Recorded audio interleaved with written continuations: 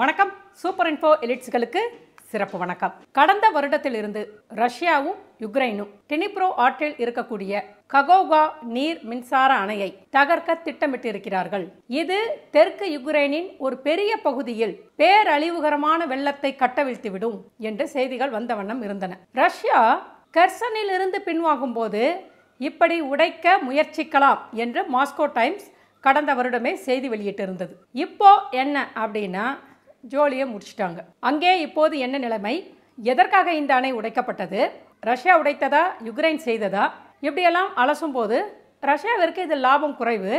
இந்த காரியம் north stream பைப்லைனை அமெரிக்கா உடைத்துவிட்டு ரஷ்யாவே உடைத்து கொண்டது என்று சொன்னது போல யுக்ரைனால் இந்த அணை உடைக்கப்பட்டு ரஷ்யா மீது குற்றம் சாட்டி இருக்கிறது அவைகள் எல்லாம் என்ன என்பதை பற்றி இந்த பதிவில் நாம் பார்க்க போகிறோம்.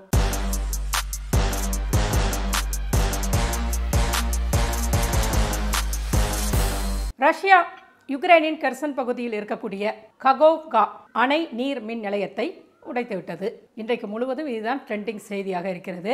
யுக்ரைனின் ஜனாதிபதி இந்த உடைப்பை ரஷ்ய படைகள் செய்தது என்கிறார். இந்த சம்பவத்திற்கு ரஷ்யா யுக்ரைன் மீது குற்றம் சாட்டியிருக்கிறது.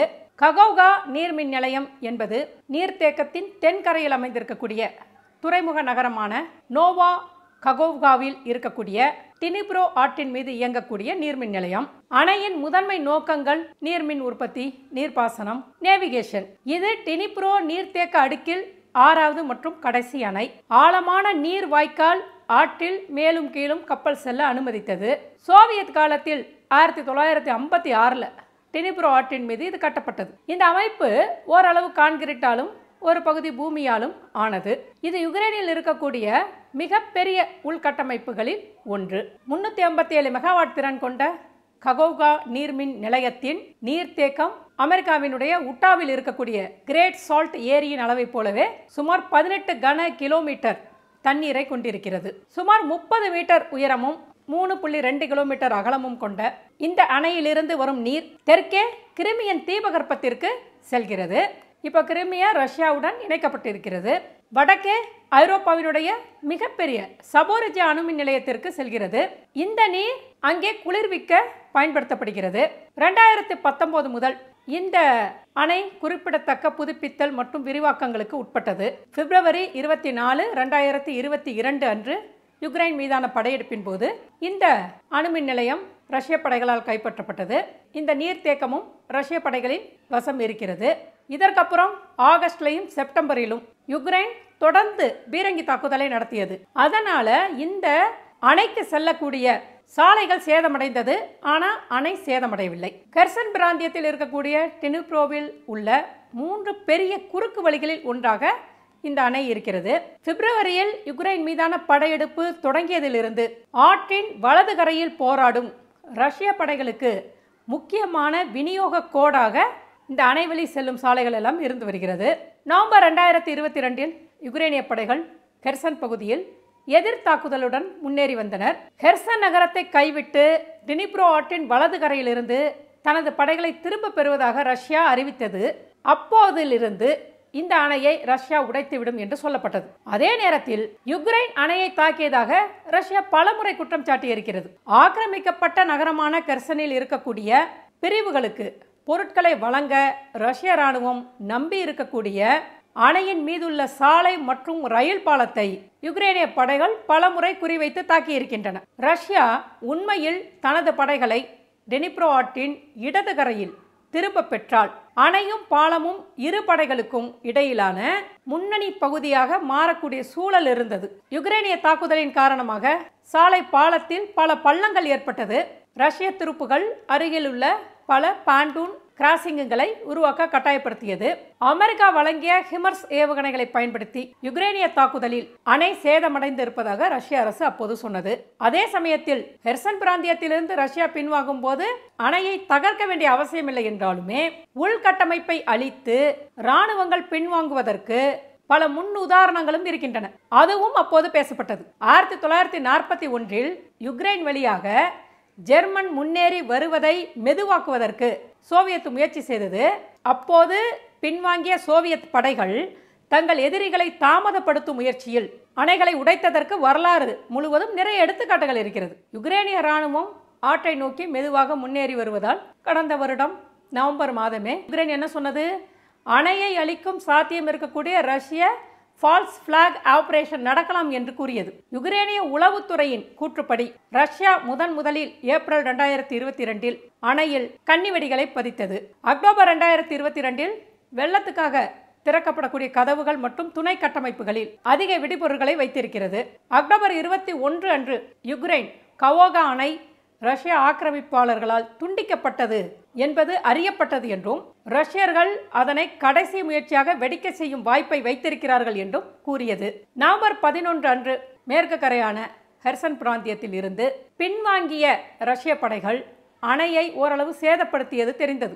எதற்காக அவர்கள் சேதப்படுத்தினார்கள் என்றால் யுக்ரைன் கிரிமியாவிற்கு செல்லக்கூடிய கனல்களில் தாக்குதலை நடத்தும் என்பதனால் அதனை எல்லாம் உடைத்தார்கள் என்று சொல்லப்பட்டது. சிசிடிவி காட்சிகள் அணையில் ஒரு குறிப்பிடத்தக்க வெடிப்பை காண்பித்தது. இது சாலை மற்றும் ரயில் பிரிவுகளை அழிக்க வழிவகுத்தது. ஆனாலுமே அணைக்கு குறைந்த சேதம்தான் ஏற்பட்டது. அணை முழுவதுமாக அழிந்தால் பிராந்திய தலைநகரான கெர்சன் உட்பட எண்பதுக்கும் மேற்பட்ட குடியிருப்புகள் வெள்ளத்தில் மூழ்கக்கூடும் அப்படின்னு உக்ரைன் ஜனாதிபதி ஜெலன்ஸ் அப்போது கூறினார்.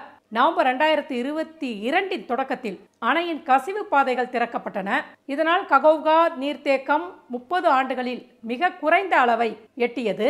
இது நீர்ப்பாசனம் குடிநீர் ஆதாரங்கள் மற்றும் ஜபோரிஜியா அணுமின் நிலையத்திற்கான குளிரூட்டும் அமைப்புகளுக்கு ஆபத்தை ஏற்படுத்தியது. டிசம்பர் ஒன்று ரெண்டாயிரத்தி இருபத்தி இரண்டு மற்றும் பிப்ரவரி ஆறு ரெண்டாயிரத்தி இருபத்தி மூணுக்கு இடையில் நீர்மட்டத்தில் ரெண்டு மீட்டர் குறைந்தது.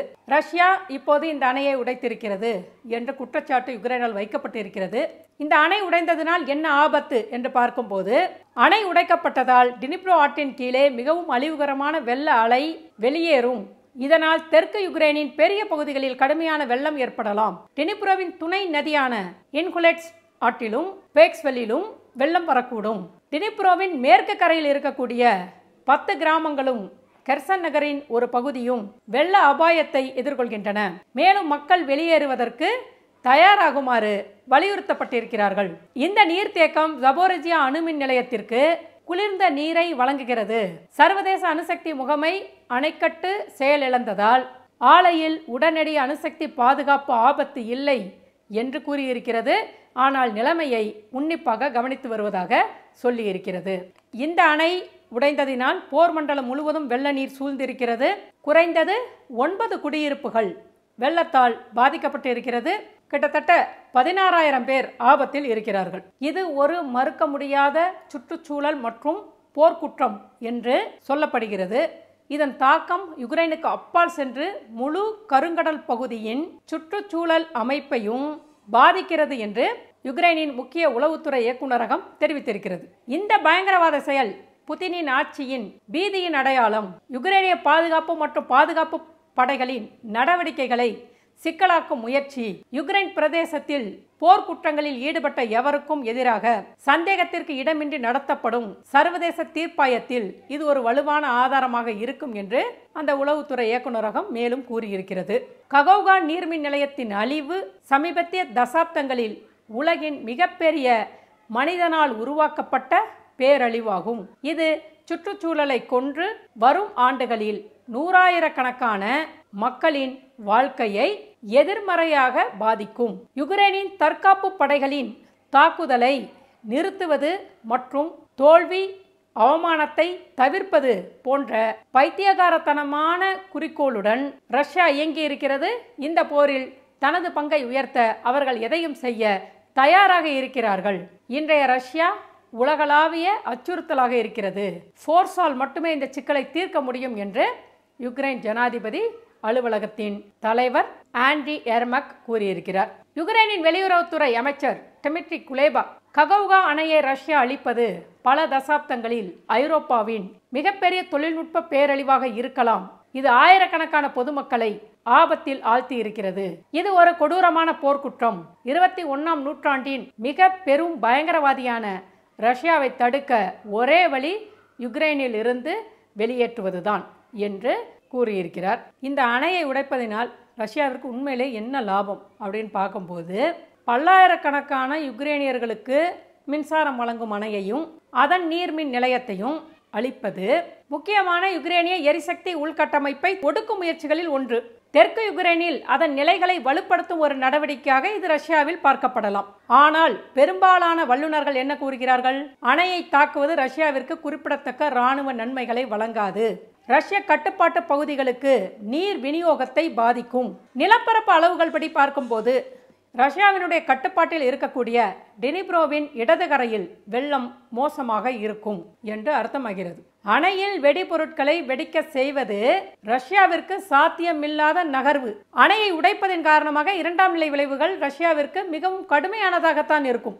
இந்த அணையை உடைத்ததினால் ஆற்றின் மட்டத்தை குறைப்பது ரஷ்யாவுடன் இணைக்கப்பட்ட கிரிமியாவிற்கு நீர் வளங்களை அச்சுறுத்தும். யுக்ரைனின் சபோரிஜா பகுதியில் இருக்கக்கூடிய ரஷ்ய கட்டுப்பாட்டில் உள்ள அணுமின் நிலையத்திற்கு குளிர்விக்கும் நீரின் அணுகளை துண்டிக்கும். இது குறுகிய காலத்தில் தெற்கில் யுக்ரேனிய துருப்புக்களின் முன்னேற்றத்தை மெதுவாக்கும் என்றாலும் அதே வேளையில் இது யுக்ரேனிய உறுதியை மேலும் வலுப்படுத்தும் நீண்ட காலத்திற்கு ரஷ்ய ஆக்கிரமிப்பிற்கு எதிராக போராடவும் உதவும். ஸோ யுக்ரைனுக்கு இதில் பலன் அதிகம் என்பது போல தோன்றுகிறது.